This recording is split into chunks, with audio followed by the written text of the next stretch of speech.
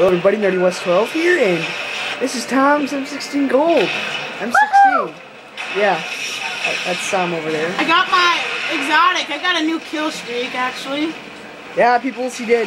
I, I got a 46 kill streak on hard hat. You heard him, this exact map.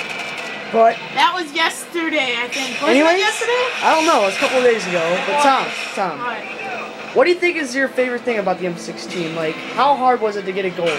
Not very hard. Not very hard? Uh-uh. Okay, people, so there you have it. It's not very hard to get the M16 gold. That's what we're cutting it to. Yeah, so Okay. basically this is M16 Gold gameplay right here. Just for a little bit so you can see the gold. So yeah, I will see you guys later. Nerdy Wes 12 I'm playing a game of um Out.